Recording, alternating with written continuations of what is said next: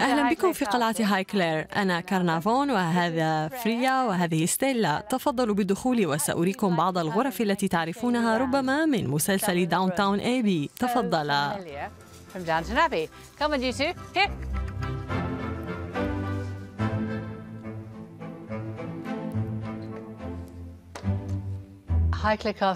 إنه مكان رائع للعيش. إنه امتياز لكنه في نفس الوقت مسؤولية. لا أحد سيبني اليوم مثله فهو يضم ما بين 250 و 300 غرفة وقد بني لزمان آخر.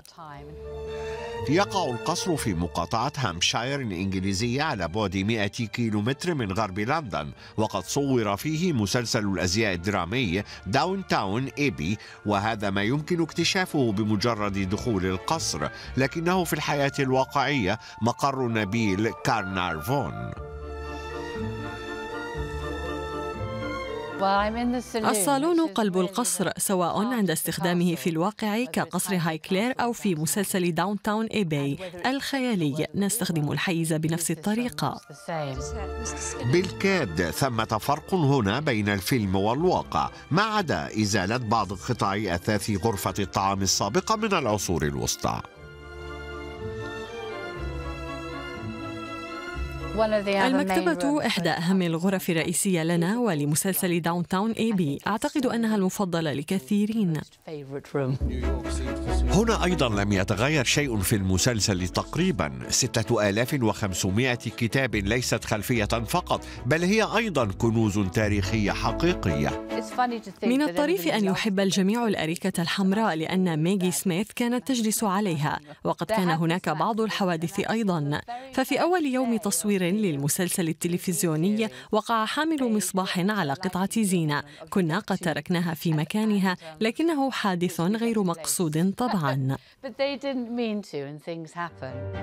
غرفة الرسم هي واحدة من أفخر غرف مسلسل داونتون آبي حيث تلتقي العائلة أو الضيوف وهي بورق جدرانها ولوحاتها الحريرية جذابة بشكل خاص في الواقع أيضا وتعتبر المكان الأبرز لكثيرين ممن يستكشفون القصر في جولة مع مرشدين.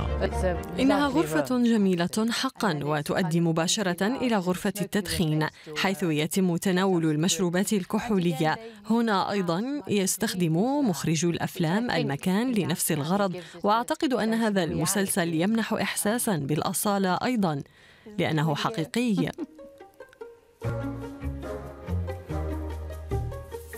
هنا تقع غرفة الطعام. الغرفة التي كان يتناول فيها الملوك ورجال الدولة طعامهم في الحياة الواقعية تحت رقابة الملك تشارلز الأول الشديدة. استخدمت غرفة طعام عائلية في المسلسل ودون تغيير تقريباً.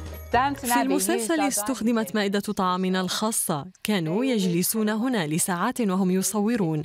أحيانا من السابعة صباحا ويستمرون 11 ساعة لتصوير مشهد لا يتجاوز عرضه على التلفزيون أربع دقائق ونصف.